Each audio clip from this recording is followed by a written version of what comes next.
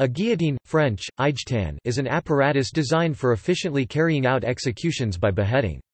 The device consists of a tall, upright frame in which a weighted and angled blade is raised to the top and suspended. The condemned person is secured with stocks at the bottom of the frame, positioning the neck directly below the blade. The blade is then released, to quickly fall and forcefully decapitate the victim with a single, clean pass so that the head falls into a basket below. The device is best known for its use in France, in particular during the French Revolution, where it was celebrated as the People's Avenger by supporters of the revolution and vilified as the preeminent symbol of the Reign of Terror by opponents. The name dates from this period, but similar devices had been used elsewhere in Europe over several centuries.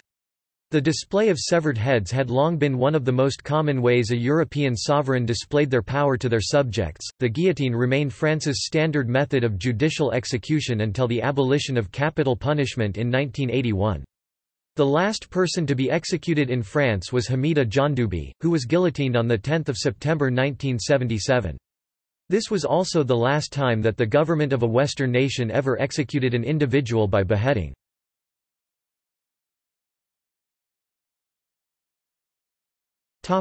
Precursors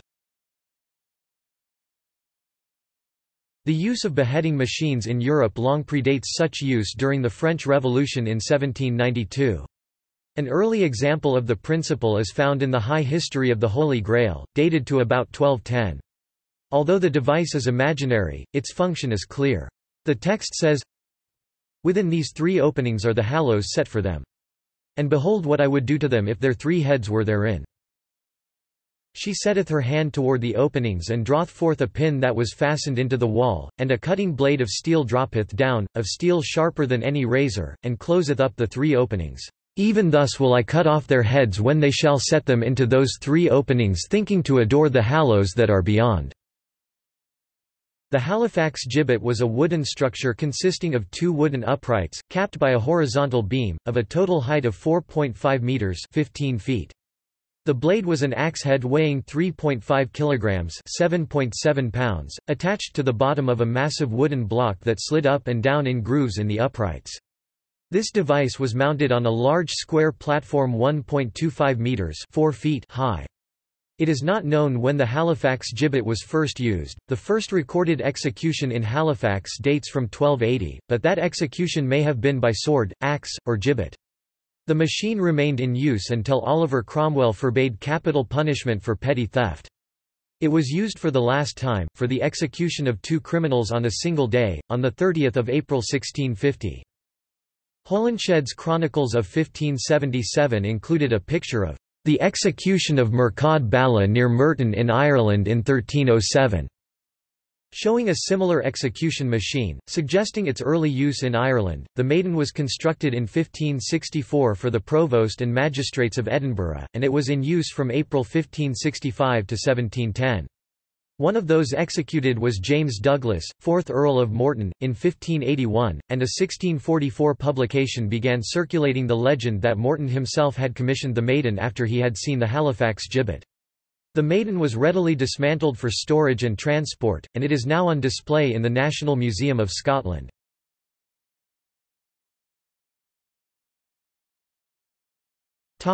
France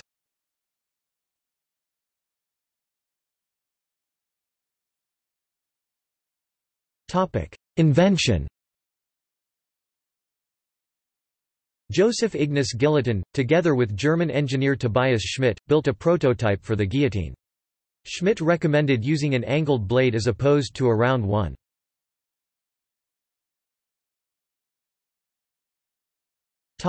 Introduction in France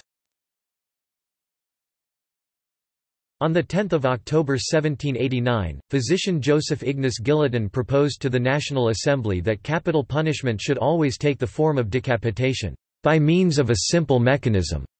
Sensing the growing discontent, Louis XVI banned the use of the breaking wheel.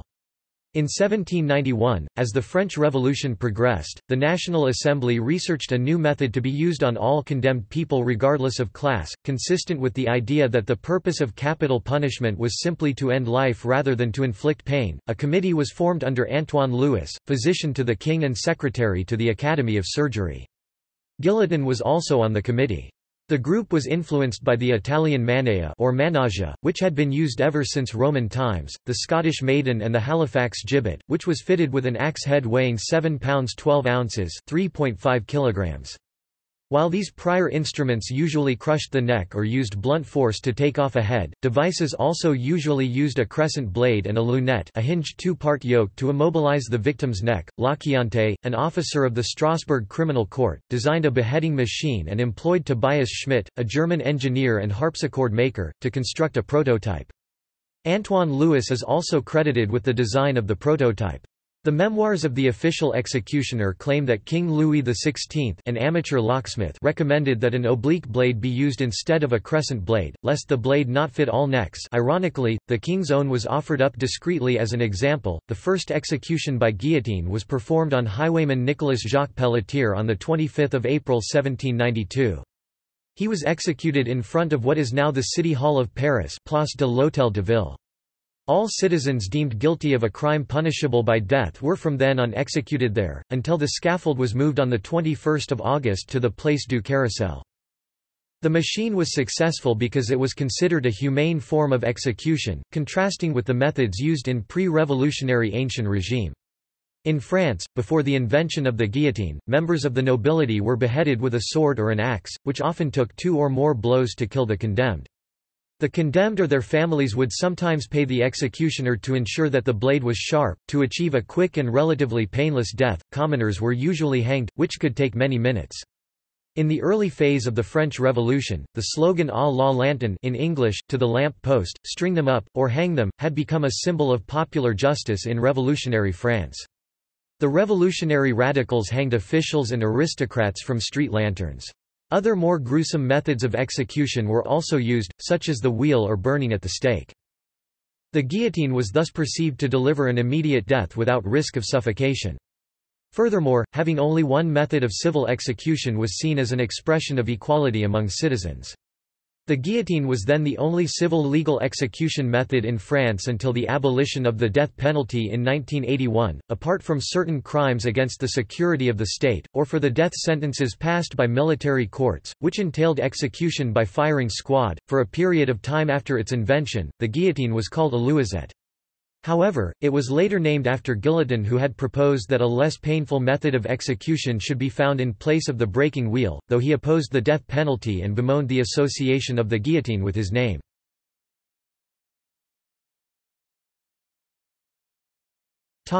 Reign of Terror Louis Collenot d'Angremont was a royalist famed for having been the first guillotine for his political ideas, on 21 August 1792. From June 1793 to July 1794 the Reign of Terror about 17,000 people were guillotined. Former King Louis XVI and Queen Marie Antoinette were executed at the guillotine in 1793.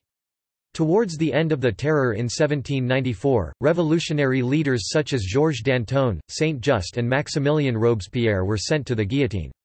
Most of the time, executions in Paris were carried out in the Place de la Révolution former Place Louis XV and current Place de la Concorde. The guillotine stood in the corner near the Hôtel Crillon where the statue of Brest can be found today.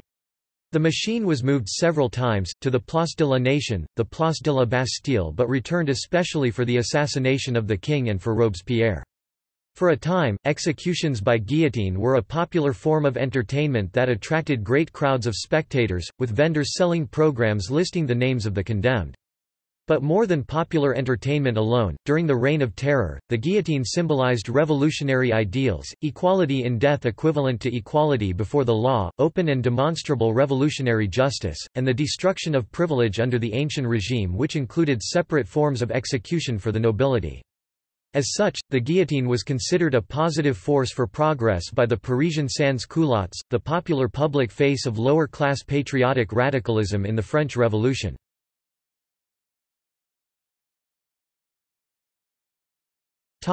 Retirement After the French Revolution, executions began again in the city centre.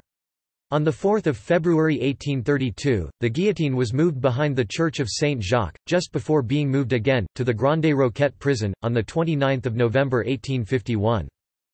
On 6 August 1909, the guillotine was used on the junction of the Boulevard Arago and the Rue de la Santé, behind the La Santé prison. The last public guillotining in France was of Eugen Weidmann, who was convicted of six murders. He was beheaded on 17 June 1939 outside the prison Saint-Pierre, Rue Georges Clemenceau 5 at Versailles, which is now the Palais de Justice. A number of problems with that execution inappropriate behavior by spectators, incorrect assembly of the apparatus, and the fact that it was secretly filmed caused the French government to order that future executions be conducted in private in the prison courtyard. The guillotine remained the official method of execution in France until the death penalty was abolished in 1981. The final three guillotinings in France before its abolition were those of child murderers Christian Ranucci on the 28th of July 1976 in Marseille, Jérôme Carrein on the 23rd of June 1977 in Douai and torturer murderer Hamida Djandoubi on the 10th of September 1977 in Marseille. In the late 1840s the Tussaud brothers Joseph and Francis, gathering relics for Madame Tussaud's wax museum, visited the aged Henry Clement Sanson, grandson of the executioner Charles-Henri Sanson, from whom they obtained parts, the knife and lunette, of one of the original guillotines used during the Reign of Terror. The executioner had pawned his guillotine, and got into woeful trouble for alleged trafficking in municipal property.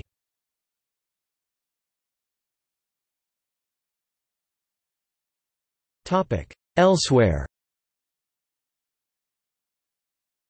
A number of countries, primarily in Europe, continued to employ this method of execution into the 19th and 20th centuries.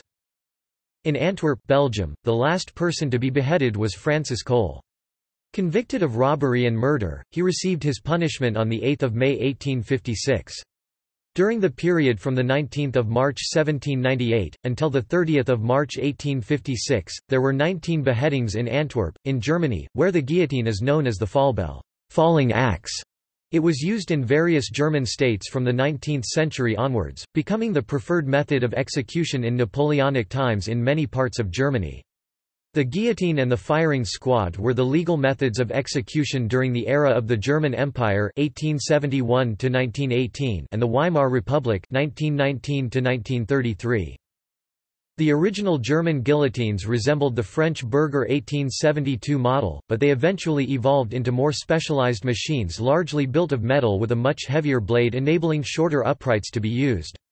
Accompanied by a more efficient blade recovery system and the eventual removal of the tilting board or bascule this allowed a quicker turnaround time between executions, those deemed likely to struggle were backed up from behind a curtain in order to shield their view of the device. Additionally, the blade was covered by a metal screen in order to hide it from sight.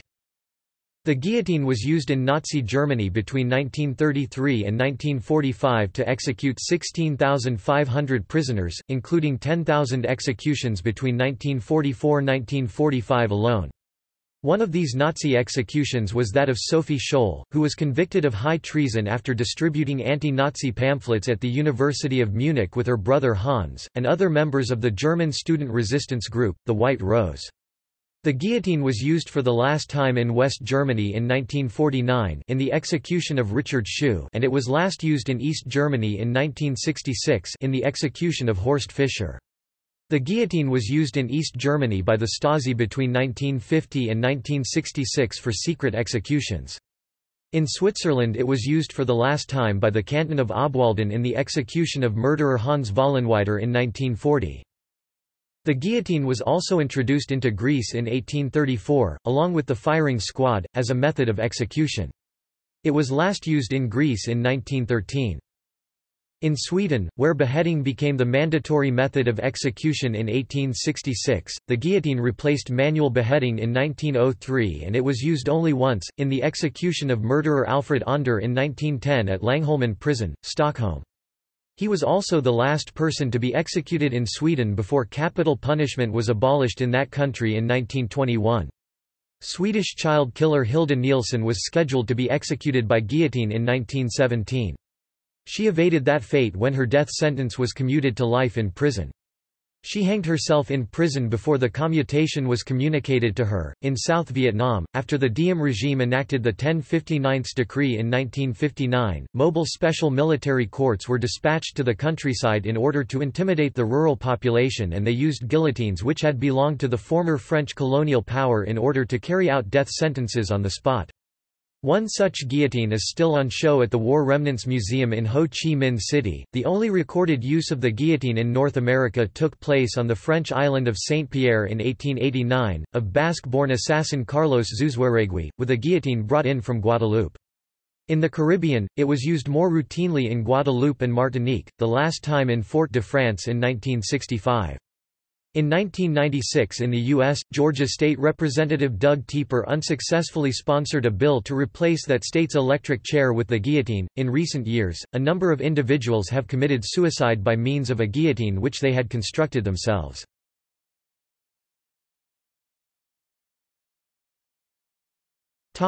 Controversy From its first use, there has been debate as to whether the guillotine always provided a swift death as Guillotin had hoped. With previous methods of execution intended to be painful, there was little concern about the level of suffering that they inflicted. Because the guillotine was invented specifically to be humane, the issue of pain and suffering was seriously considered.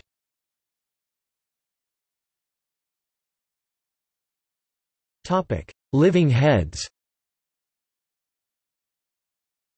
The question of consciousness following decapitation remained a topic of discussion during the guillotine's use. The following report was written by Dr. Beaurieux, who observed the head of executed prisoner Henri Languille, on 28 June 1905. Here, then, is what I was able to note immediately after the decapitation. The eyelids and lips of the guillotined man worked in irregularly rhythmic contractions for about five or six seconds. This phenomenon has been remarked by all those finding themselves in the same conditions as myself for observing what happens after the severing of the neck. I waited for several seconds. The spasmodic movements ceased. It was then that I called in a strong, sharp voice, Languille. I saw the eyelids slowly lift up, without any spasmodic contractions. I insist advisedly on this peculiarity, but with an even movement, quite distinct and normal, such as happens in everyday life, with people awakened or torn from their thoughts. Next Languille's eyes very definitely fixed themselves on mine and the pupils focused themselves. I was not, then, dealing with the sort of vague dull look without any expression, that can be observed any day in dying people to whom one speaks, I was dealing with undeniably living eyes which were looking at me. After several seconds, the eyelids closed again. It was at that point that I called out again and, once more, without any spasm, slowly, the eyelids lifted and undeniably living eyes fixed themselves on mine with perhaps even more penetration than the first time. Then there was a further closing of the eyelids, but now less complete. I attempted the effect of a third call, there was no further movement, and the eyes took on the glazed look which they have in the dead.